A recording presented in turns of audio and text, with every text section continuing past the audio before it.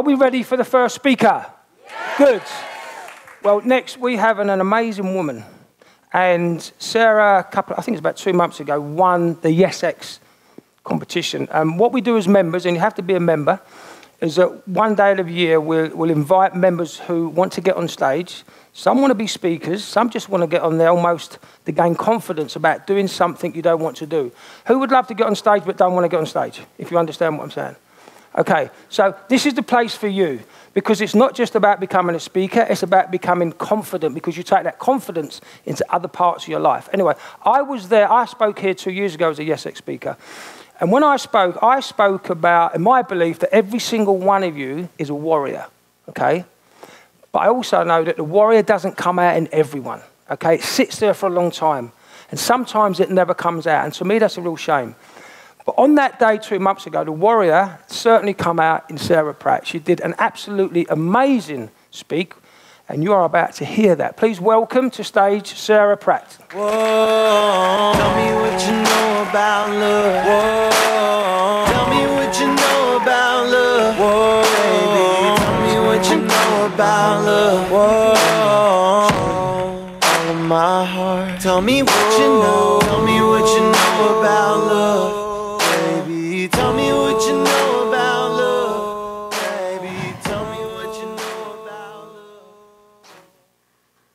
Hello and good evening. Um, I'd like to start by inviting you all to see me. See me in my fear, see me in my excitement, see me in my love for all of you and my love for myself, because it's taken that love for myself to find myself here. And this is a really new experience for me. And and it's taken a lot of bravery and a lot of soul searching. And all of those things that are in me, I know that they're in all of you. And the reason I say believe in you is because they were the most powerful words I've ever heard. And it was at an event, a personal development event, the first one I ever went to. And it was an exercise. And I was, it, part of the exercise was to literally, with a person next to you, look at them in the eyes and speak in their ear and say, I believe in you. I believe in you. I believe in you. I believe in you. And the reason that's more powerful to me than I love you is because I love you has been misused in my life so many times.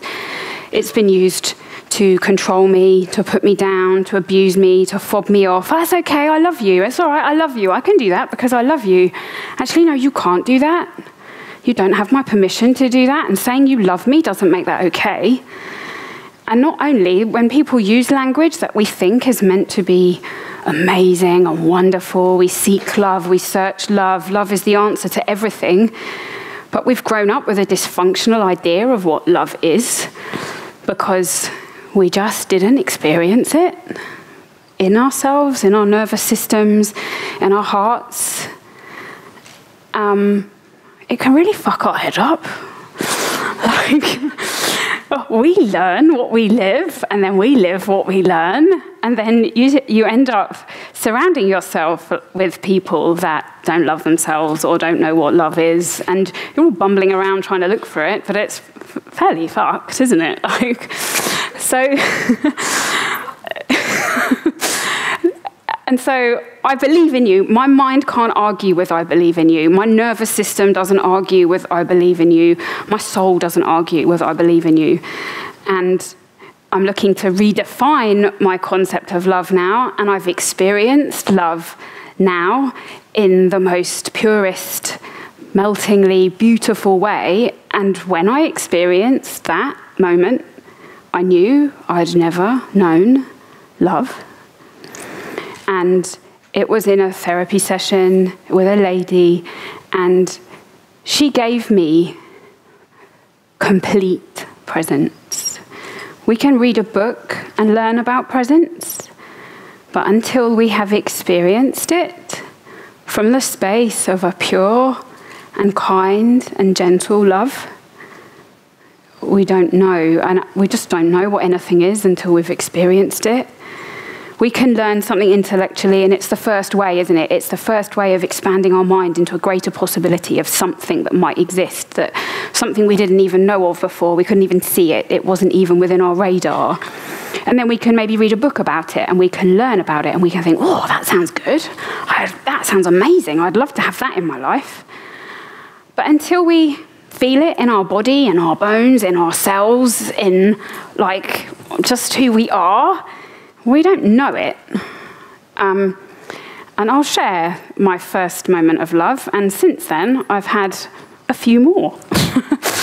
and it's so new to me um, because that was roughly, I think, about six weeks ago. And four weeks ago, I hacked my mind to understand what I, I didn't know what love was. So when I say see me, like, I don't really know me yet. I'm four weeks into a new program running in my brain, and everything I experience is like, oh, wow. Oh, like, I don't know what to do with information. It's like, this is amazing. um, so six weeks ago, as I went for a therapy session, and it was, it was, she said, do you mind if we just roll with what happens? I'm like, go for it. I'm open. Take me. I'm yours. And the presents she gave me, kind of figuratively speaking, um, she just, it was so simple. She just listened. She listened, and everything I said was allowed. I was allowed to be sad. I was allowed to be angry. I was allowed to be unconscious. I was allowed to be in my ego. I was allowed to be happy. I was allowed to be relieved. I was allowed to be open and spacious and vulnerable and excited about my life. I was allowed to be everything in one moment. And she stood at my feet and she just delicately stroked my ankle.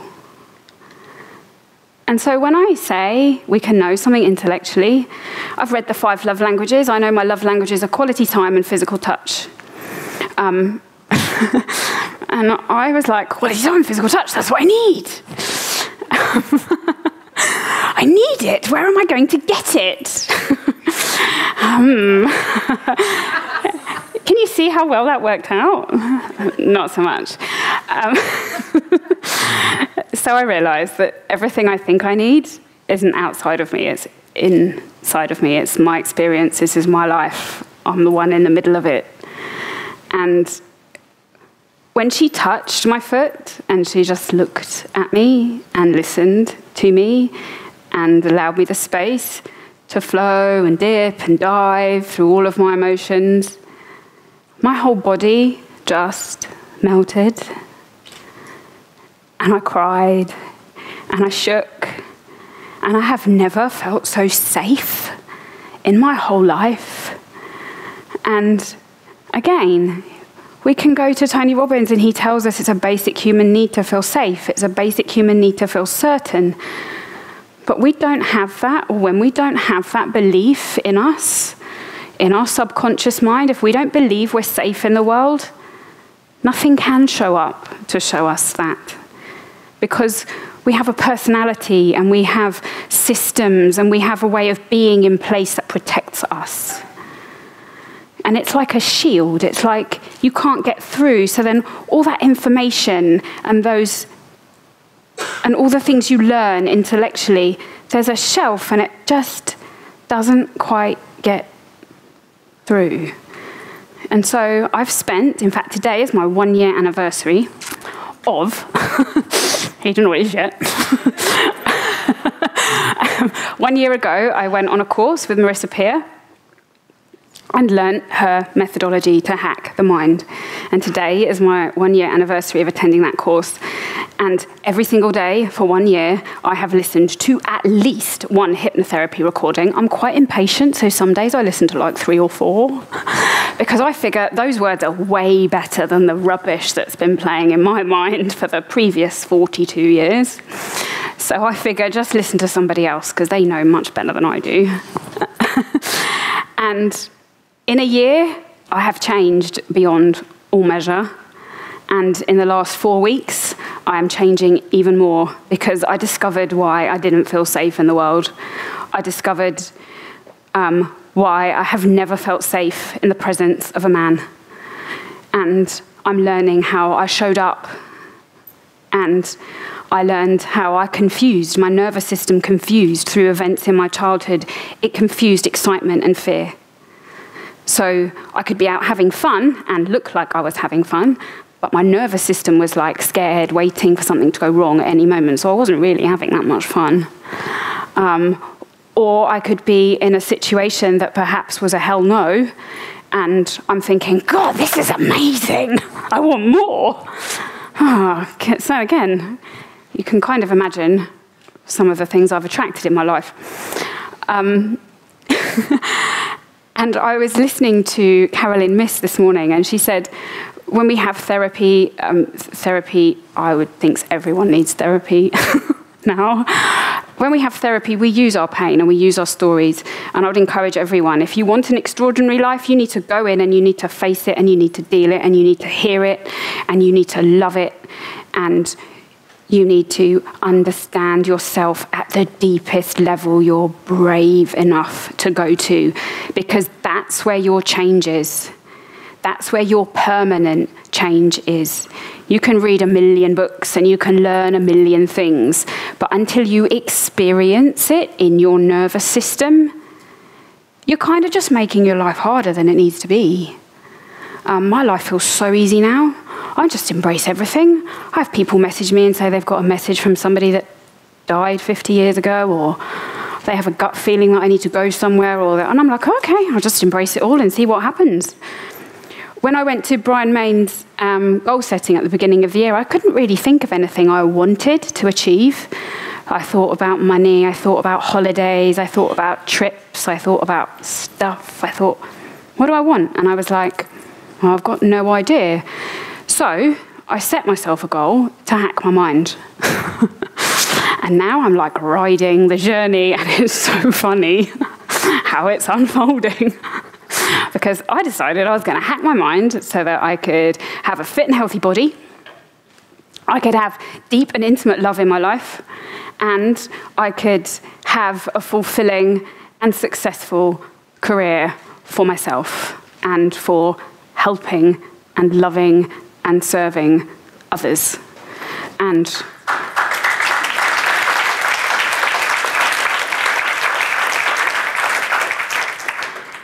I didn't really set any parameters on that, so it's quite interesting to see how it's unfolding. My body seems to be taking care of itself. That's cool.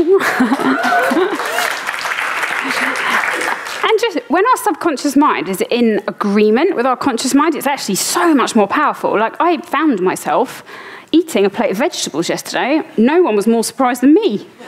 Oh. I was even more surprised I couldn't eat them all. How can I not eat all of the, this? Just vegetables. So it works, this stuff, you know. Um, and everything else is just unfolding the way it's meant to. So I'm just enjoying the journey.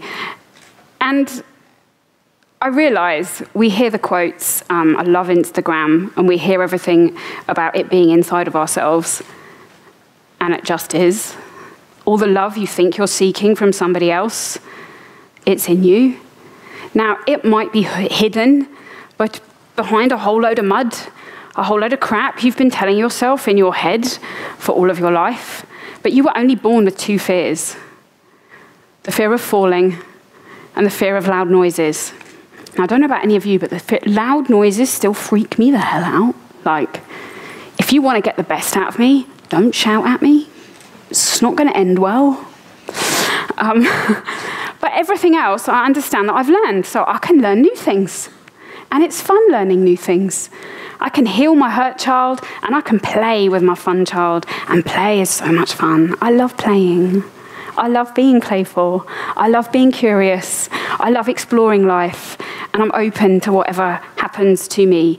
And I've realized recently that life happens to me, and they aren't always the things I might have chosen. Um, but I know who I am in the middle of that life. And when I said on my Facebook Live about being the eye of the storm, there's a stillness in it. There's a stillness that I can find through meditation, through. Do it now, wiggle your toes. You wiggle your toes, you have to be present to the fact that you're here right now. And when you love that person that you are and you congratulate yourself and praise yourself every single adversity that you faced, every single one of them, you survived it. Don't get stuck in the drama of the pain. Use the pain, transform the pain, change the pain, and take your wisdom from that pain. Because that's who you are. That's the chisel that crafted the beauty of who you are. The most important words are the ones you say to yourself. So start telling yourself how amazing you are, how strong you are, how courageous you are, how loving you are, how much you've got to give. And when you do that every day, your life honestly unfolds in the most beautiful ways.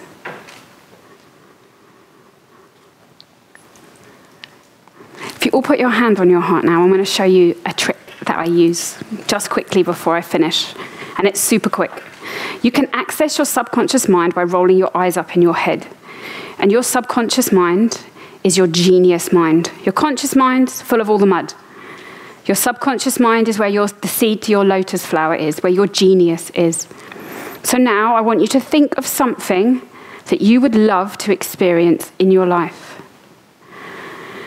Take a deep breath, close your eyes, roll your eyes up in your head, and say to yourself, I don't know how this amazing event, whatever it is, happens in my life easily, effortlessly, and in complete alignment with my heart. I only know it is so now, and I am fulfilled. And let your eyes relax and visualize all of the resistance to that outcome flooding down your body, out, down your legs, out through your feet, into Mother Earth, through the crystals, down to the center of the earth, and all of the resistance being burned in the center of the earth. And now the power of that the power of our planet coming up from the center of the earth through the crystals, all of the healing crystals now, the power of that coming up through the earth, through your feet, through your legs, into your heart. Relaxing your shoulders, roll them back. And so be it.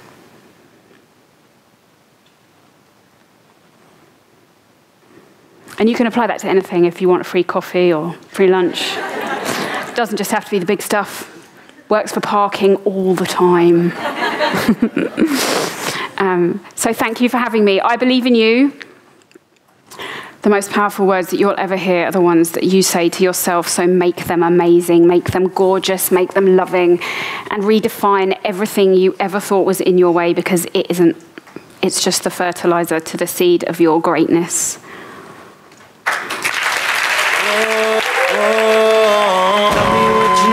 About love. Whoa. Tell me what you know about love. Whoa. Tell me what you know about love. Whoa. All of my heart. Tell me what you know. Tell me what you know about love. Baby, tell me what you know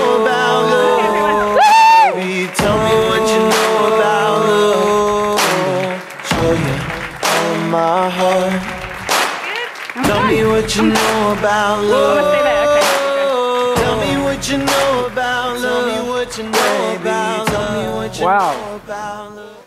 Did you feel that? I mean, I was sitting over there and I'm just, I felt it here. Unbelievable. Fantastic. But we can't let you go without giving you something. And of course, you can shake your tassels. of course, Yes Group, little, little book here that you, can, mine. uh, that you got your own, and you can only get this if you're a member. So join tonight and just for one of these. But I've got to say, that was absolutely fantastic. I'm so proud of you because Thank I saw you. it before. And I've known Sarah now for three or four years, and she's just grown and grown and grown and grown. So thank you very much for sharing Thank your you. story.